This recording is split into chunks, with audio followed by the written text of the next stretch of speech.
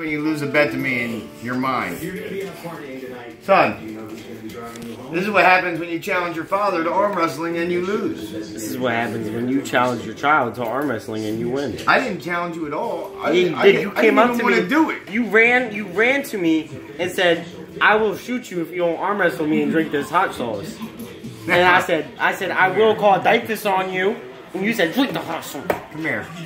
I don't think that's what Come happened at all. This kid fabricates more stories to you guys. All right, it's all just a story. What comes out of his mouth. He talks because he got lips. That's it. Nothing that nothing actually has any any meaning. It's just words that he puts together.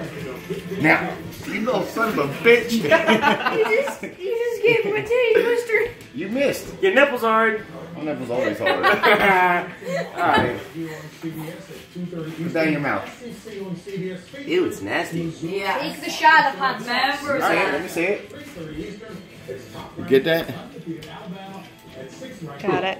Jordan, get your phone out from in front of us. I just love hot sauce. Where'd you get the shot glass? Put it in your mouth. Is that what all the boys tell you? That's why I tell all the girls.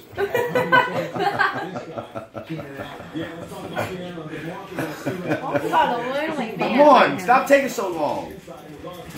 Come on. Oh, the hot sauce. Ah, I need to see it's empty. Uh-uh. Where is it empty? Is it empty?